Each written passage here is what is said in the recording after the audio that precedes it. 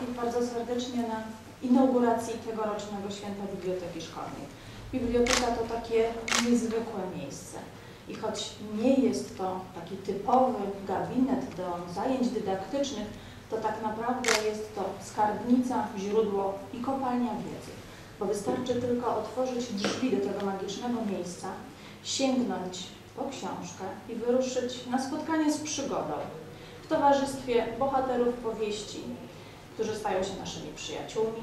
Można wkrótce stać się świadkiem wielu wydarzeń historycznych, politycznych. Można poznawać nowe kraje, zwiedzać miejsca. Można przenieść się w czasie i znaleźć się w przeszłości, a za chwilę powędrować ku przyszłości.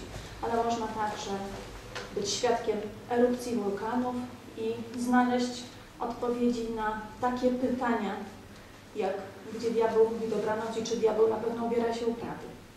Jest to miejsce niezwykłe nie tylko dlatego, że macie tutaj kontakt ze Słowem Pisanym, ale także dlatego, że spotkacie tutaj zawsze dwie przyjazne dusze, które nie tylko wypożyczą książkę, nie tylko podpowiedzą i doradzą, jak znaleźć ważne czy potrzebne Wam informacje, ale także w razie potrzeby stają się, zmieniają się w słuch i stają się powiernicami Waszych bolączek, problemów i zawsze, o ile dobrze mi wiadomo, znajdą remedium na Wasze problemy. To wspaniałe miejsce. To miejsce reklam- reklamuje się przez swoją nazwę. Każdemu z nas biblioteka kojarzy się z książką, z dobrą książką. I chociaż każdy z Was pojęcie dobrej książki definiuje inaczej, bo dla niektórych z Was będzie to tomik poezji, dla niektórych będzie to książka fantazy, dla kogoś może być to powieść obyczajowa, powieść historyczna, dla niektórych książka popularno-naukowa. Nieważne jaki rodzaj książki. Najważniejsze, byleby to było spotkanie ze słowem pisanym. Nasza noblistka, poetka Wisława Szymborska powiedziała, że najwspanialszą zabawą, jaką ludzkość wymyśliła, jest właśnie czytanie książek. A Umberto Eco dodaje, że kto czyta książki, żyje podwójnie. Myślę, że te dwa cytaty uznanych w świecie literatury autorytetów nie wymagają żadnego komentarza, ale że są swoistym zaproszeniem do odwiedzenia tego wspaniałego miejsca, jakim jest właśnie Biblioteka Szkolna. Na koniec nie pozostaje nic innego, jak powiedzieć, że Święto Biblioteki roku 2017 ogłaszam za otwarte. Cieszę się, że zgłosiliście się do działań w ramach, organizowanych w ramach tego święta. Życzę Wam miłego, udanego dnia i. Dziękuję bardzo. A ja tylko przypomnę, że w ramach dzisiejszego Święta Biblioteki odbędą się tutaj dwa konkursy. Licealiści, trzecioklasiści wezmą udział w konkursie Zostań mistrzem pięknego czytania i przypomną nam fragmenty dramatu Stanisława Wyspiańskiego. Natomiast młodsze klasy, młodsi licealiści oraz gimnazjaliści narysują komiks do ulubionej książki. Powiem o zasadach oceniania. Każdego z Was, tutaj swoje słowa kieruję do czytających, będziemy oceniać indywidualnie. Chociaż czytacie w parach, to każdego z Was będziemy oceniać indywidualnie. Nagrodą dla mistrza pięknego czytania będzie ocena z języka polskiego Celująca. tak, oraz punkty z zachowania. Także życzymy Wam powodzenia i jesteśmy ciekawi Waszych interpretacji tekstu. Zaczynamy. To zobaczymy. Rysujących zaprosimy do tego okrągłego stołu już teraz. Żono, słuchaj no, żonisia, chodź no, Hanuś, Cóż takiego? osobliwy ten dzień dzisiaj, tyle naraz mił nowego. A złego co? Co dobrego? A wiesz, mama, tyle tego, że mi w głowie huczy, szumi. Kto zrozumie, kto zrozumie. Cóż takiego, cóż takiego? Możeś chory. Któż ten stary? Kto ten stary? Wedny chola. Jeno nie mów to nikomu, bo ci mówię pokryjomu. I on był tu w tajemnicy. Kajus Moser? Precz odjechał. Bardzo ważne mówił rzeczy. Trzeba się zbierać. A co tobie? Trzeba się zbierać, pasy, torby, moja flinta, pistolety. I te szable wezmę obie. O Jezusie, jakie borby. Po nocy, gdzież to? Cóż znowu? Mam być gotów. Gwałt, urety. Ledwo stoisz, jesteś chory. Zaraz konno jechać muszę. Jeszcze spadniesz kadrowo. Poprzysiągłem się na duszę, konno muszę. Cary, zmory, jakaś siła. Od tej pory żyć zaczniemy coś wielkiego. To będzie moje, czy nie moje, a wiesz licho. Tylko cicho, tylko cicho. Bo jak znajdziesz twoje, to tak jakbyś znalazł nutę. Wiersze? Wrażenie, wrażenie najszczersze. Śpiewnik serdeczny, kantyczki. Całość w książce, komplet serca. I te wszystkie spotkania najpierwsze, i te wszystkie rozmowy u pola. I w ogródku, i we dworze, w sieni, na przysionku, w komorze. Aż do ślubu, aż do kobiety. Komplet serca. To ciekawe, że co my rozumiemy przez prozę, przetapia się na dźwięk, rymy i że potem z tego idą dymy po całej literaturze. Zupełnie tak jak w naturze. Grać słońc zapachu się lotem. I przychodzą różni to, by same wąchać róże. A gdyby tak ustroić się w róże i wejść na ogromny stos drzewa i pokazać, jak śpiewa człowiek, co w różach na czole umiera, Trzeba by lud Homera. a los, a atmosfera, a ogień, a płomieni góra, a czarna u boków chmura, co by się ze stosów zbiła, Śmierć? a to byłaby siła. Scena 24, poeta i gospodarz. Taki mi się snuje dramat, groźny, szumny, posuwisty, jak polonez, gdzieś skazana. grobów, czy to próchno, czy to czarem, że ze słowem przyszedł starem, że na mnie użył sposobów i co we mnie tajemnicą, ty mówisz jak rzecz prawdziwą, jak żywo, jak żywo. Mówię słowo, rzecz prawdziwą. Chwila, chwila osobliwa. Wybrałem dziś weselisko. Twój dworek, dróżkę, zagrodę. Słyszysz, jaki wicher wyje? Słyszysz wielki deszcz na plusze? Słyszysz, chrząszczą wielkie drzewa? I jako trzaskają kusze. To tam moja wróżba śpiewa. Tysiąc goni, grudy bije ze złotymi podkowami. Jezus, zmiłuj się nad nami. Leć kto pierwszy do Warszawy, z chorągwią i chówcem sprawę, z ryngrafem Boga Rodzicy, kto zwoła sejmowe stany, kto na sejmie się pojawi, sam w stolicy, ten nas zbawi. Jako żywo, jako żywo. Waść mi także dziwna prawi, że to jako rzecz prawdziwą. Wszystkie święte, wszystko żywo, z daleka, a miałem blisko. Wybrałem twój dom, zagrodę i wybrałem weselisko. Waszmość rękę mi szczęśliwą, daję waści złoty róg. Złoty róg, Możesz nim powołać kur. brak mi zbiór. Na jego rycerny głos spodzierzni się duch, podejmie. Daję w twoje ręce róg. Dzięki Bóg. Waść mość porozsyłać wici, lud zgromadzić przed kaplicą. Jutro, skoro się zgromadzą, mają radzić? Co uradzą? Jutro wielką tajemnicą. Jutro, skoro się zgromadzą, niech nie radzą, nic nie radzą. Jedność niechaj w ciszy staną, jutro wielką tajemnicą. A ty, wstawszy bardzo rano, skoro zejdzie pierwsze słońce, ku drogą natężaj słuch. Jutro, Jutro wszelki duch. Maryś, panie, panie, Jezu, koń w podworku padł. Cóż wy, Hanka, jaga hej, cóż wy, cóż to, jaga ej. Cóż to, co to, czy zaklęci? Stoją systy jak pośnięci? Słysta, Hanuś, Błazek, Matuś, panie młody, czepiec, tatuś. Panie młody, cóż to, czy zaklęci? Systy jak pośnięci? Aha, prawda, żywy Bóg, przecie miałem trąbić wróg. Kasta, zaśta, celi zginął, celi mi się ka odwinął. Kajsim zabył złoty róg, ostał mi się ino sznur. Jak ci spadła czapka z piór. Tom się chylał po tę capkę, to mi się może odwinął. Miałeś chłopie złoty róg. Miałeś chłopie czapkę z piór. Czapkę ze, ze łba wicher zwiódł. Bez tą wiechę z pawich piór. Ostał ci się ino sznur. Najdę ha gdzie przy figurze, Pod figurą ktośik stał. z trasy rozstajnych dróg. Cy to piął, cy nie piął kur? Już świtanie, już świtanie, tu trzeba bydłu paszę nieść. Trzeba rżnąć sieczki, ważyć jeść. Jakże ja se radę dam?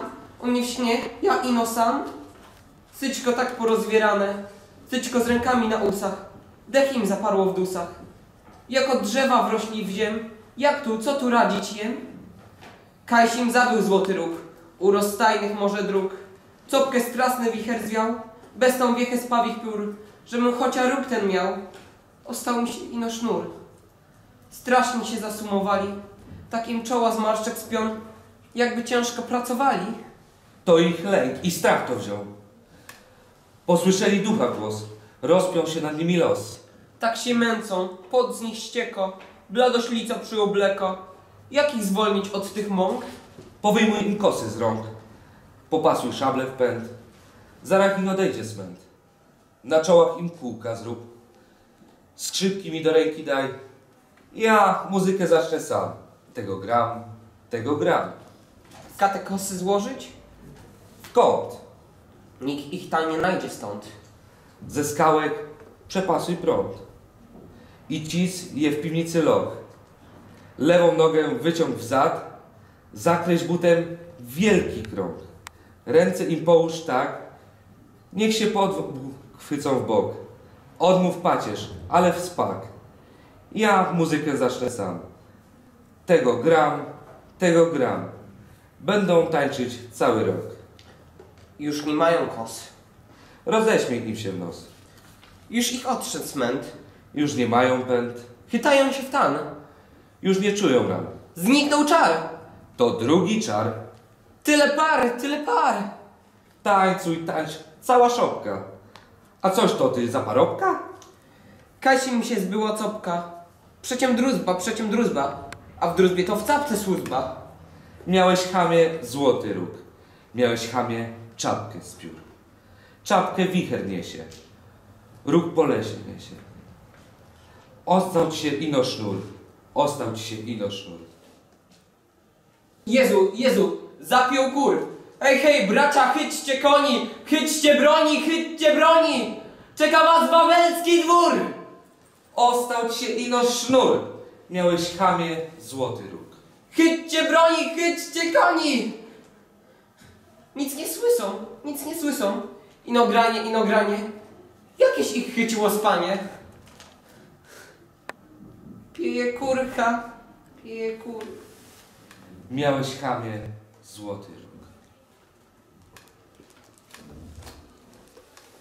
To witamy po krótkiej przerwie. Ja w imieniu jury przedstawię Wam wyniki konkursu. Zaczniemy od konkursu Zostań mistrzem pięknego czytania. E, Jury jednogłośnie stwierdziło, że mistrzem pięknego czytania w tym roku, czyli 2017, został Wawrzyniec Malinowski. Gratuluję.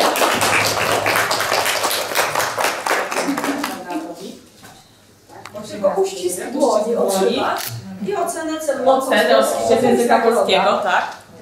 Gratulujemy. No i słodki poczęstunek dla gości, tak? W dzisiejszym dniu dostają, no możesz sobie jeszcze tylko, no. Natomiast wicemistrzem e, został Wojciech Maślanka. Gratulujemy.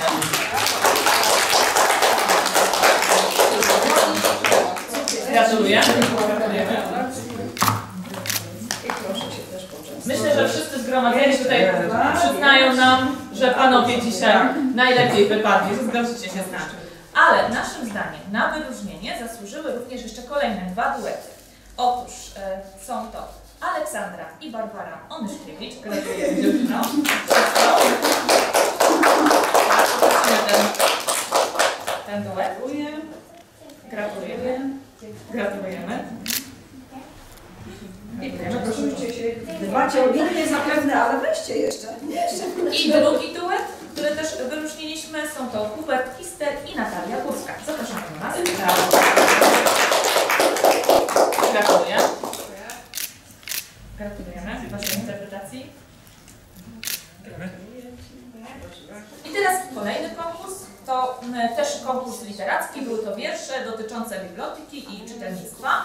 E, Wpłynęły tutaj trzy prace i po krótkiej naradzie uznałyśmy, że każda jest piękna w swojej formie i ustaliłyśmy równorzędne trzy pierwsze miejsca i ci laureaci otrzymują również kolejne szóstki. Dla niektórych to będą kolejne szóstki e, z języka polskiego. Gratulujemy i za chwileczkę poprosimy laureatów o przeczytanie, odczytanie swoich utworów.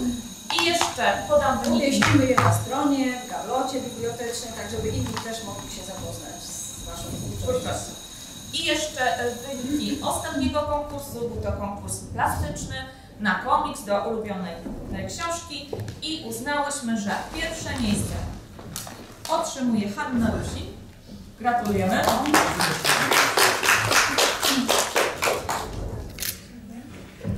Gratuluję. Gratuluję. drugie miejsce przyznałyśmy Martynie Badeckiej i Zuzannie Rutkowskiej. Gratulujemy. Jeszcze nie nie Tak, więcej czasu. Zapraszamy, zapraszamy. Gratulacje. Gratulacje. Częstujcie. Gratulujemy. Gratulujemy. Gratuluję. Gratuluję. I tutaj nasi wyróżnieni laureaci otrzymują szóstki z plastyki, gimnazjaliści, a z boku licealiści.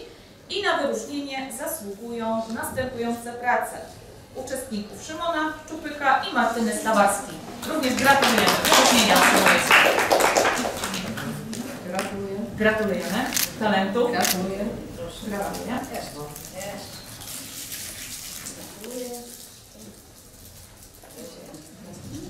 Tak, I decyzją jury Wy również otrzymujecie wszyscy szóstki z plastyki bądź z wokół, licealiści z wokół, a gimnazjaliści z plastyki.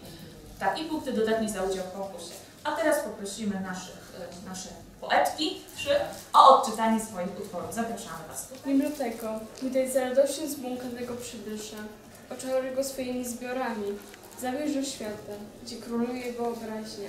Zaprowadź do magicznej krainy, pozwól stanąć u boku bohaterów, opowiedz o ich przygodach niezwykłych, pozwól doświadczyć radości i smutku.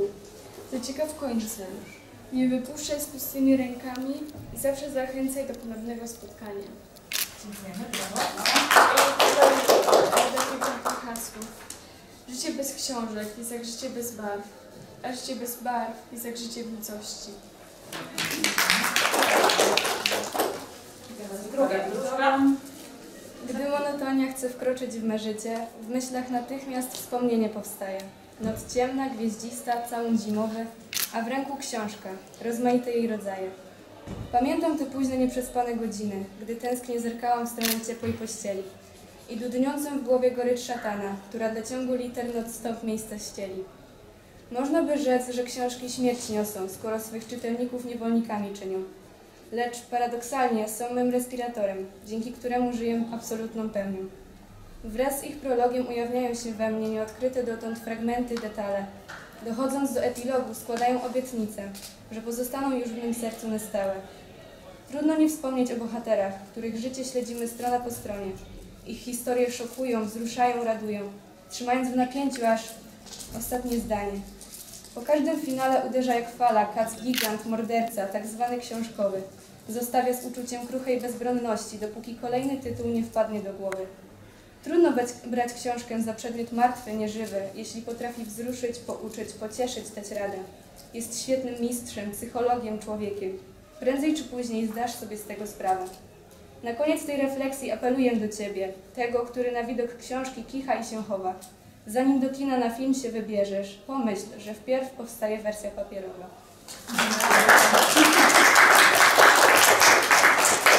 Jeszcze Aleksandra Onyszkiewicz. Poezja inna niż wszystkie, mały przewodnik po epokach. Czytam Mickiewicza w parku na ławce. I łza jedna po drugiej leci jak w mężawce. Tyle wybitnych umysłów, dzieł pięknych stworzyło, duszyczki iż spojrzysz w niebie, lecz ślad wspomnisz nie zginę. Antyk to cudowny w literaturze czas, który do dzisiaj zachwyca nas. Teatr w tamtych czasach powstawał i mrożące krew żyłach dramaty przedstawiał. Mam na to przykład, może nawet dwa. Sięgnij po Sofoklesa, on Ci więcej informacji da. Średniowiecze Bogu jest poświęcone, a anonimowych artystów koło poszerzone. Bogu Rodzica to piękna pieśń, które wszyscy Polacy oddają cześć. Ascetyzm też tu występuje i święty Aleksy nam ukazuje, jakie wybory w tym celu podejmuje. Renesans to kochanowskiego czas, który swoją twórczością zachwycił nas. Mistrz tak uważam i chyba każdy będzie się ze mną zgadzać. Oświecenie to umysłu stan i Krasicki doskonale udowodnił to nam. Romantyzm bliski mojemu se- sercu jest, bo sentymentalność to u mnie nadrzędna rzecz. Miłość i uczucia żar to właśnie wszystko, co znajdziesz tam. Dostojewski, Konopnicka, Prus. Czy te nazwiska mówią coś Ci już? Młoda Polska, czas godny uwagi, gdyż artyści poruszają tutaj bardzo ważne sprawy.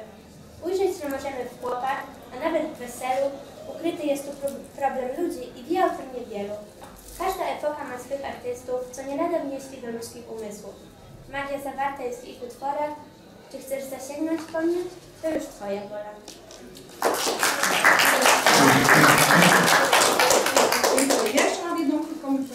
Chciałam przypomnieć o akcji Upolnij swoją książkę. Nie wiem, czy zauważyliście plakaty rozlepione tu na drzwiach czytelni, na gazetce, informacja jest na stronie internetowej. Szkoła nasza zgłoszona została do projektu właśnie pod patronatem Ministerstwa Edukacji Narodowej Upoluj swoją książkę.